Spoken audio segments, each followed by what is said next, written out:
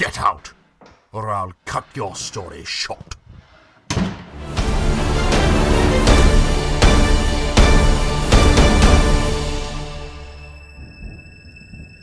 If it weren't for his devotion to you, I would have removed his head a long time ago.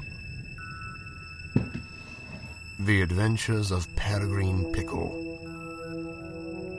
You used to be so much more, Winifred. So much more. What did Jones do to you?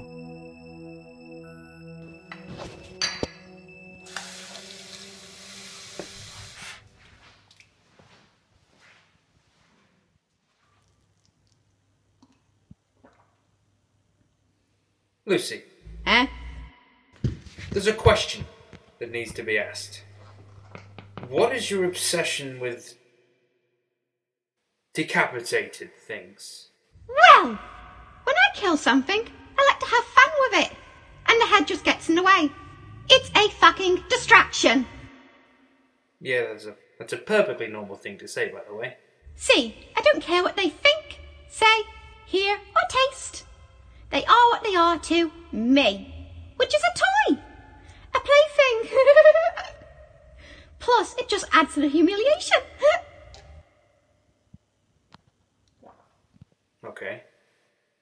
Follow up question. Lucy, do you know what necrophilia is?